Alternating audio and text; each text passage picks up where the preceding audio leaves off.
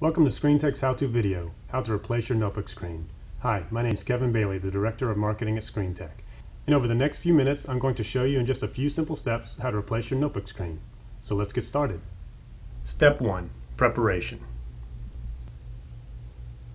The first step in the notebook screen replacement process is to gather the tools that you will need.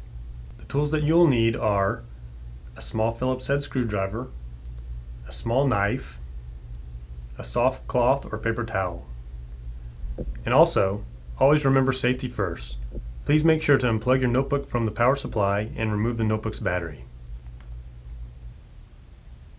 Step 2. Identifying the parts of the notebook's screen assembly.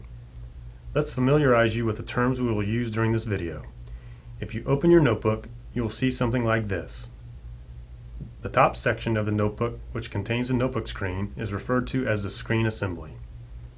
The exterior components of the screen assembly are the front bezel, the rear bezel, the notebook screen, the hinges, and the screw covers.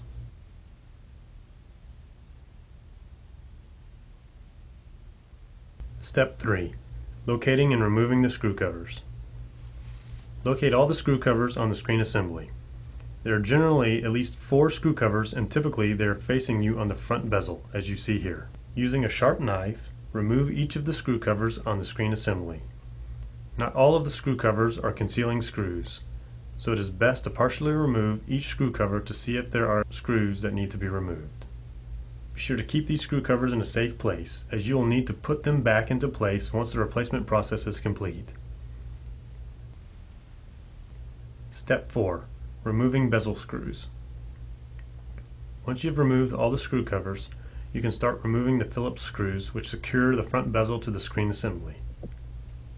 Please be sure to keep all your screws in a safe place so that you don't lose them. Step 5. Removing the bezel. The front bezel surrounding the notebook screen is ready to be removed. First, insert your fingers between the front bezel and the notebook screen front bezel should start to unsnap. Work the plastic gently back and forth to help unsnap the bezel. Work your way around the front bezel to unsnap it completely. Some notebooks may require you to shift the latch to remove the front bezel completely. Step 6. Identifying the internal parts of the screen assembly. Now that you have removed the front plastic bezel, a screen assembly should look similar to this. You'll notice that the notebook screen is being held in place by a metal bracket on each side of the notebook screen. The notebook screen is being secured to the metal brackets on either side of the notebook screen by four Phillips screws. Underneath the notebook screen is the inverter, which provides power to the notebook screen's backlight.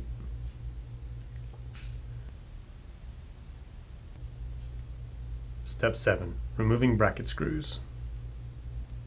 First, place a soft cloth or paper towel on your keyboard to rest the notebook screen once you have removed the screws from the metal brackets. Remove the bottom screws first, followed by the top screws. Gently place the notebook screen on the soft cloth or paper towel.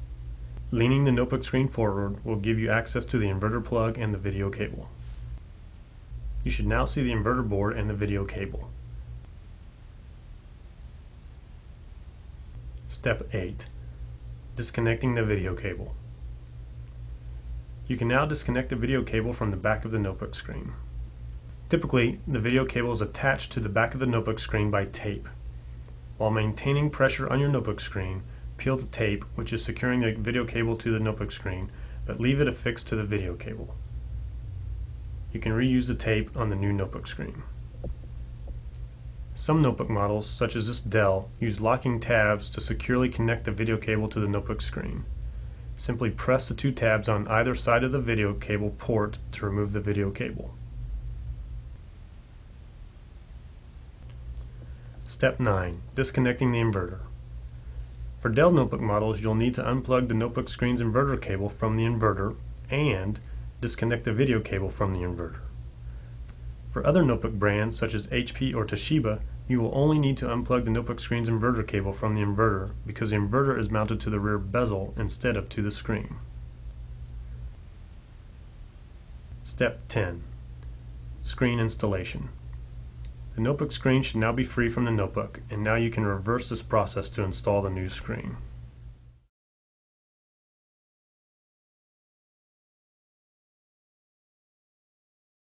Step 1 Connecting the inverter.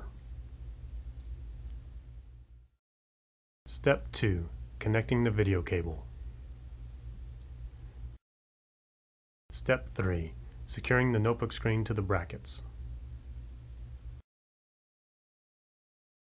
Step 4 Replacing the front bezel.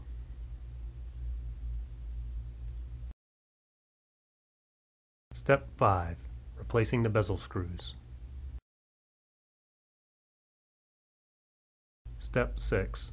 Replacing the screw covers.